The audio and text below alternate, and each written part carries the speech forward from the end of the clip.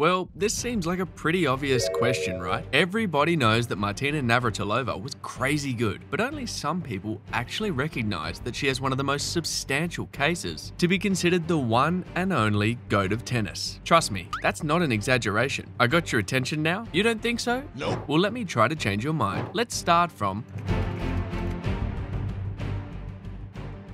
Martina Navratilova was born to be a world-class athlete. It was inevitable. Her mother was an accomplished gymnast, tennis player, and ski instructor, while her grandmother had been a tennis player who reached number two in the Czech ranking before World War II. I guess tennis just ran through her veins. Martina started playing as soon as she could hold a racket. By the age of four, she was already hitting the ball consistently against concrete walls. By seven, she was training regularly under the tutelage of her stepfather. By 15, she was already a pro and had won the Czechoslovakia National Tennis Championship.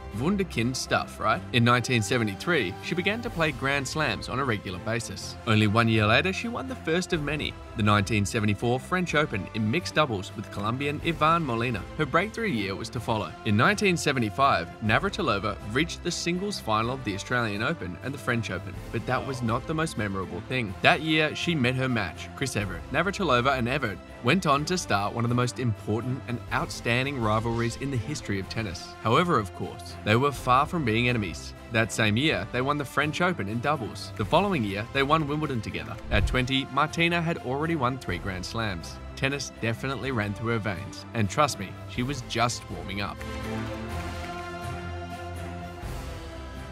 Navratilova's breakthrough on the ladies' circuit marked a before and after in the history of women's tennis. She was unlike any player that had come before. Her playing style was incredibly aggressive and powerful. Her left-handed drive and one-handed backhand were more than dangerous weapons. Her backcourt game was fluid, intelligent, and strong. However, her best tennis came when she was serving and volleying. Her serve was extremely strong and accurate. Although she is best remembered for her raw power, she also had enough variation to surprise her opponents. To go along with that, she had some of the most precise and lethal volleys that the game has ever seen. As you can imagine, she was an absolute nightmare for her adversaries, especially during her serve games. While her attacking playing style seemed best suited to surfaces such as grass and carpet, Navratilova could play superbly on any surface. Even her earliest successes were on clay. Her game reading and outstanding footwork allowed her to successfully apply her serve and volley style on the slower surfaces. Yet she also had no problem playing from the baseline if that's what the situation called for. As her resume shows, she was an excellent all-court player.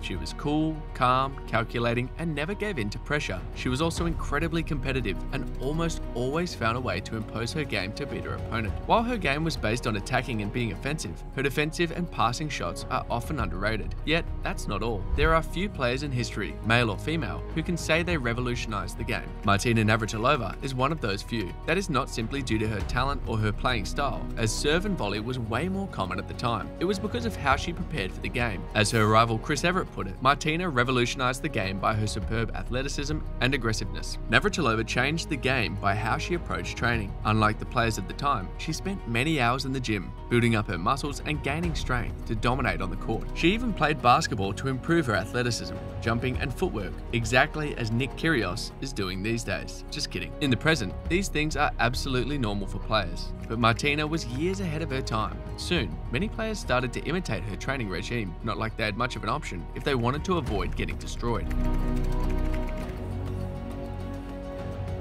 Despite her young breakthrough on the circuit, it took Navratilova several years to win her first slam, which finally came in 1978 at Wimbledon, against none other than Chris Evert. The following year, she would repeat the title one more time, against Evert in the final. In addition, she reached the number one ranking. From that moment on, Navratilova did not stop. During the 80s, she entered her prime, playing steadily at a high level rarely seen before. Navratilova completely took over the women's tour, averaging a winning percentage of over 90% during that decade, and finishing the year as number one in the world on on five consecutive occasions. It is impossible to elaborate on each of her achievements because this video would last for hours. Literally. Just to give you an idea, Navratilova won 15 singles Grand Slams, 25 doubles, and 4 mixed doubles during the 80s alone. In addition, she won 6 singles year-end championships finals and absolutely all the doubles year-end championships finals played in that decade. To say she dominated the competition would be a massive understatement. Her career is so long and successful that it is difficult to delimit when her prime began began and ended. It can be said that her best years in terms of results were from 82 to 87. In 1983 and 84, she won three Grand Slams per year, while in 1985 and 87, she reached the finals of all four majors. During 83 and 84, Navratilova was especially untouchable. Her style of play reached a high peak and she dominated the women's circuit completely, including her great rival Chris Evert. In 83, she had a winning percentage of 98.9%, made by 86 wins and only one loss. She only lost 9 sets in the whole year. She won every tournament she played except the French Open, and she did so in a crushing fashion. At Wimbledon, she did not lose more than 5 games in any of her final matches. At the US Open, she was even more lethal. She didn't lose more than 3 games in any match, except in the final, where she destroyed Chris Evert by a 6-1, 6-3 score, losing only 4 games. At the Tour Finals, she beat Evert again in the finals, this time even bageling her. That must have been frustrating for Chris. This is statistically the best season of the Open era, male or female, but Martina didn't slow down the following year. Throughout 1984, she went on a 74 match winning streak, another absolute record that stands to this day. That included a 13 tournament streak, winning everything in her path, including the French Open, Wimbledon, and the US Open, losing only five sets in the process. She was even close to winning the Grand Slam, all four Slam titles in the same year but lost in the Australian Open semi-finals against Helena Suková. She bounced back by winning the Tour finals without dropping a set. Oh, and just for the record, she did manage to win the year Grand Slam in doubles that year with her partner Pam Shriver, with whom Navratilova achieved a winning streak of 109 games between 1983 and 85. Another absolute record. Yeah, you heard right. Navratilova has the longest singles winning streak of all time and the longest doubles winning streak of all time. And she did those both simultaneously. That's goat stuff, if you ask me. Of course, no one can reign supreme forever. At the end of the 80s, Navratilova's level began to drop, while a new generation of players emerged. A new generation that had adopted the way of training and playing that Navratilova herself had promoted. During the 90s, her career gradually faded, but she did reach three Grand Slam singles finals in that decade, winning her last major at Wimbledon in 1990. She made it to the Wimbledon final, her favourite tournament, four years later at the age of 37, but lost to Conchita Martinez in a close match. Months later, in 1994, she retired from singles for the first time. From that moment on, Navratilova focused on her doubles career and attempted a few successful comebacks, but the most glorious part of her history was already written. However, Navratilova achieved one last feat before her final retirement when she won the 2006 Mixed Doubles US Open in tandem with Bob Bryan. That was her last Grand Slam tournament, more than 32 years after her first one. Yeah, another record. She was only a month away from turning 50. And guess what? That was, of course, another record. Man, I've already lost count of those. It's hard to argue that the Navratilova Evert rivalry is underrated, as it is considered one of the best in history. Still, I think many people fail to realize how truly incredible it was. Between 1973 and 88, those two tennis players met 80 times, with Navratilova leading 43 to 37.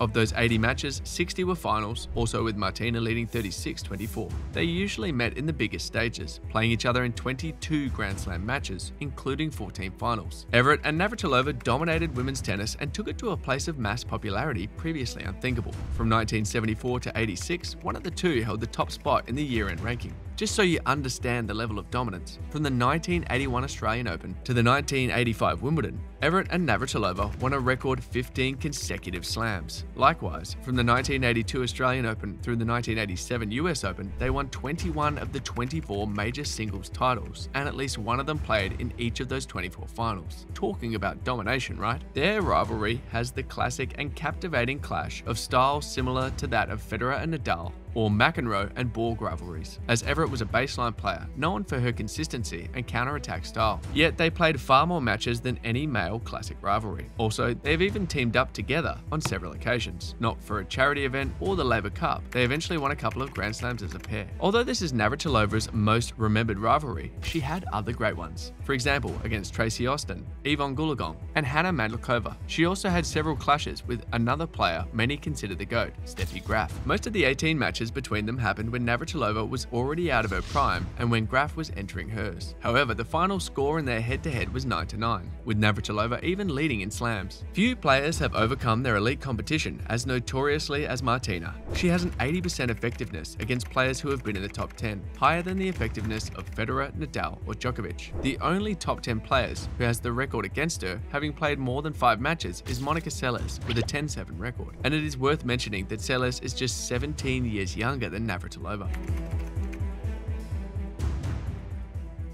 Well, I know this is an impossible question to answer. The choice of the GOAT is subjective. It depends completely on what each person gives more importance to, whether it is Grand Slam titles, weeks at number one, records against main rivals, cultural importance, or whatever. What is not questionable is that Martina Navratilova belongs in that conversation. Beyond holding the two records for winning streaks in a singles and doubles and the best season of all time, Navratilova has a lot more to brag about in her resume. I mean, really, a lot. She has played 1,661 matches, more than anyone else else in history and has won 1,442. More than anyone else in history. In addition, she has won 167 singles titles. More than anyone else in history. And 177 doubles titles. More than well, you get the idea. Longevity is also on her side. Besides holding by far the record of years between her first and last Grand Slam, she also holds the record of consecutive years winning at least one title 21 years. She has also spent 323 weeks at number one in the WTA rankings, second only to Steffi Graf and Novak Djokovic. At the same time, no one can say she did not achieve success on all surfaces, as she won, among all disciplines, more than seven titles in every Grand Slam. In terms of Grand Slam titles, Navratilova has won 18 in singles,